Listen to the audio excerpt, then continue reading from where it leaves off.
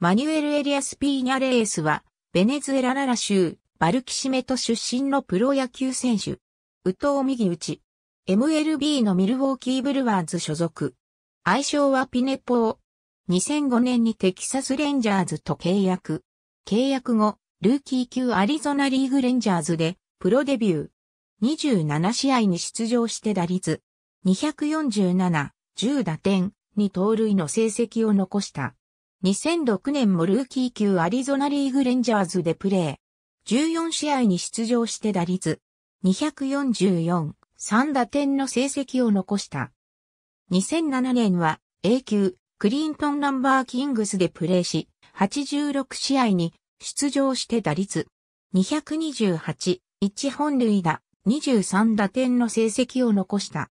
2008年は A 級ベーカーズフィールドブレイズと AA 級フリスコ、ラフライダーズでプレーし、2球団合計で84試合に出場して打率。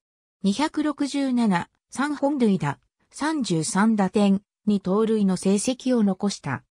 2009年は AA 級フリスコでプレーし、86試合に出場して打率。259、8本塁打、42打点、1盗塁の成績を残した。2009年9月3日にダニエル・グティエレスとのトレードでティム・スミスと共にカンザスシティロイヤルズへ移籍した。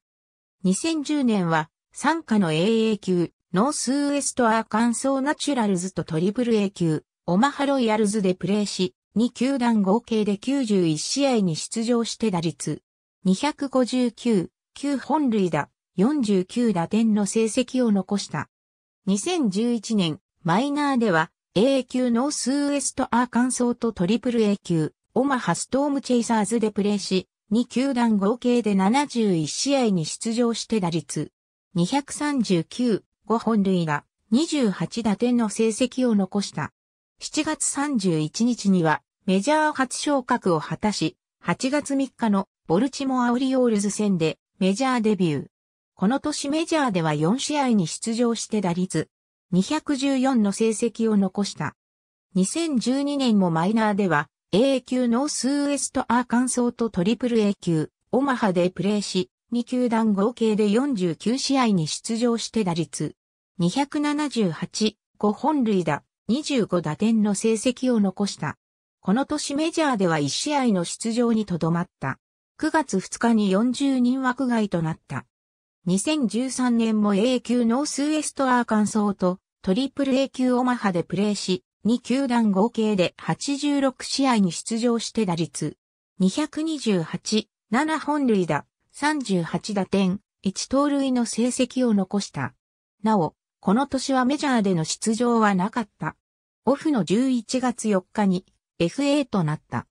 2014年1月17日にシアトルマリナーズとマイナー契約を結び、同年のスプリングトレーニングに招待選手として参加することになった。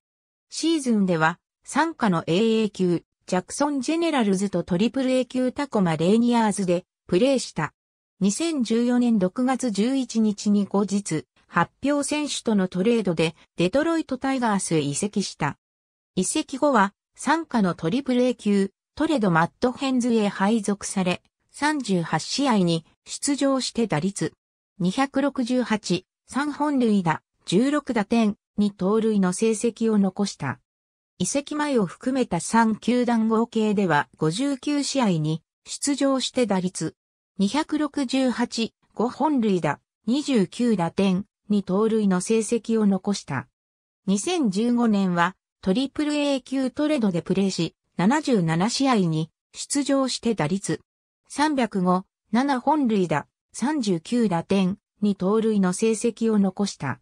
2015年12月10日、11月18日に行われたフランシスコ・ロドリゲスとのトレードの後日、発表選手としてミルウォーキーブルワーズへ移籍した。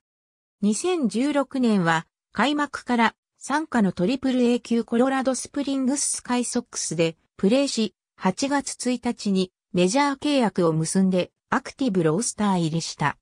この年に4年ぶりにメジャー復帰し、33試合に出場して打率254、2本塁打、12打点の成績を残した。2017年は開幕からメジャーに帯同して、ジェットバンディや途中加入のスティーブン・ボートと併用されながら出場機会を得て107試合に出場した。2018年はボートが怪我で出場できないことにより、正捕手となり、エリック・クラッツと併用された。2019年は控え捕手として開幕を迎えた。5月16日にハムストリングの怪我で故障者リストに入った。ありがとうございます。